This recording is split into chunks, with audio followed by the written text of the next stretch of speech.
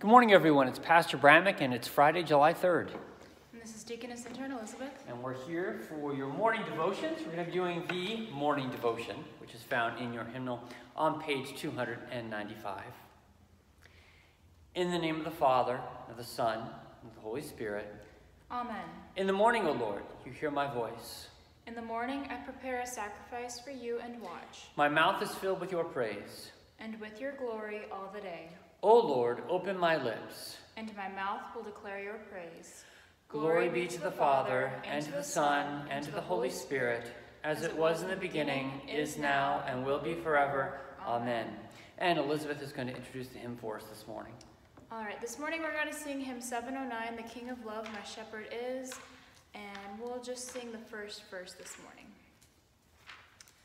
The King of love, my shepherd is, whose goodness faileth never. I nothing lack if I am his, and he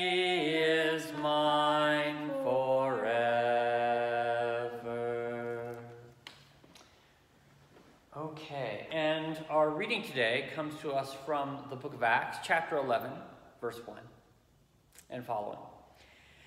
Now the apostles and the brothers who went throughout Judea heard that the Gentiles also had received the word of God. So when Peter went up to Jerusalem, the circumcision party criticized him, saying, You went to uncircumcised men and ate with them.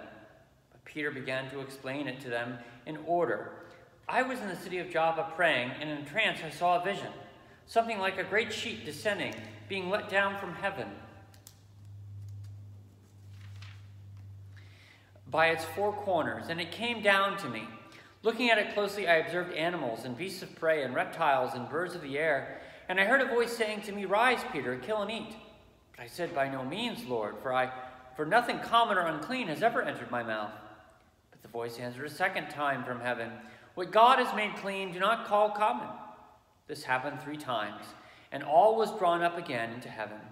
And behold, at that very moment, three men arrived from the house in which we were, sent to me from Caesarea. And the Spirit told me to go with them, making no discretion. These six brothers also accompanied me, and we entered the man's house.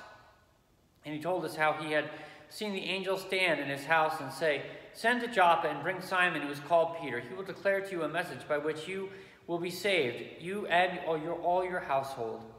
As I began to speak, the Holy Spirit fell on them, just as, for, uh, as on us at the beginning.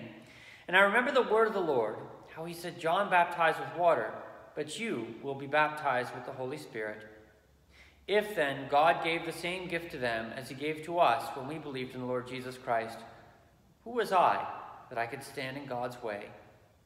When they heard these things, they fell silent, and they glorified God, saying, Then to the Gentiles also, God has granted repentance that leads to life. So, interesting verse today. Peter gets in hot water because he has fellowshiped with the Gentiles. It was forbidden for Jews to have uh, contact with the Gentiles, let alone to eat with them, because that was a sign of fellowship and acceptance. Uh, and so uh, Peter gets in trouble today, but he explains the vision that he saw that uh, was from the Holy Spirit to go and to preach the gospel to the Gentiles. And because the Gentiles receive the Holy Spirit, that then becomes the sign that God has given his favor. Uh, and, and, and truly, uh, the, the words of the Great Commission, I think, are realized first um, here in Acts chapter 11. Uh, you know, they were told to go and baptize all nations, which in, in, in Hebrew was, uh, was all ethne. That's the Hebrew word for nations, which is where we get the word ethnic from.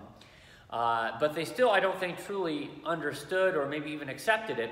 But now, today, with the reception of the Holy Spirit among the Gentiles, uh, among Roman soldiers no less, um, the disciples and Peter now realize that the gospel has gone out to all people. So, we continue now in your hymnal with the Lord's Prayer. Our Father, who art in heaven, hallowed be thy name. Thy kingdom come, thy will be done, on earth as it is in heaven.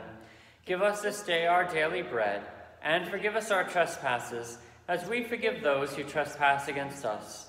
And lead us not into temptation, but deliver us from evil. For thine is the kingdom, and the power, and the glory, forever and ever. Amen. Almighty God, merciful Father, who created and completed all things, on this day when the work of our calling begins anew, we implore you to create its beginning, direct its continuance, and bless its end, that our doings may be preserved from sin, our life sanctified, and our work this day be well pleasing to you. Through Jesus Christ our Lord. Amen. I thank you, my heavenly Father, through Jesus Christ, your dear Son, that you have kept me this night from all harm and danger. And I pray that you would keep me this day also from sin and every evil, that all my doings in life may please you. For into your hands I commend myself, my body and soul and all things. Let your holy angel be with me, that the evil foe may have no power over me. Amen. Let us bless the Lord. Thanks be to God. All right. Well, Elizabeth, what announcements do you have for us this morning? All right. Well, since tomorrow is the 4th of July, we will not be meeting for women's coffee hour, so stay safe and enjoy the holiday. And Sunday, we will continue to have uh, Sunday school at 9:30. We'll have the little ones at through Zoom and in person. So just note that time change. That's 9:30. And on Wednesday, I sent out uh, an email announcement about uh, uh, Elizabeth's installation and commissioning, not this Sunday, but the following Sunday.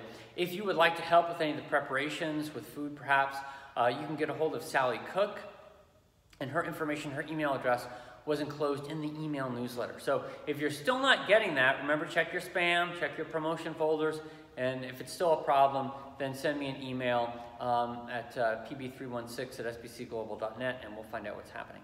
So, the Lord bless the rest of your day. We look forward to seeing you again tomorrow.